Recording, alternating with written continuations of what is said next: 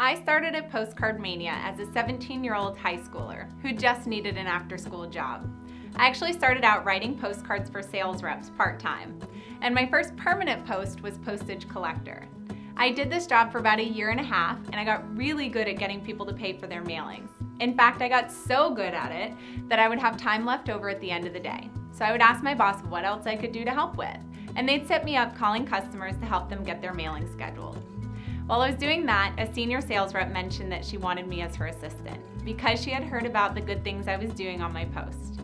I worked as her assistant for three years, learning everything about how to be a full-time sales rep.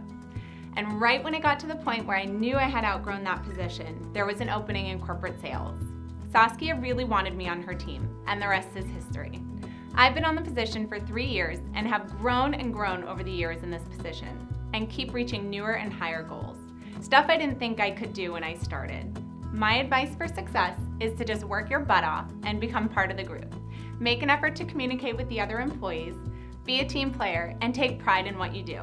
And seriously, don't be afraid to put in the work. That's the biggest reason I've been able to move up in the company. I'm Samantha Heald, and this is my PostcardMania story.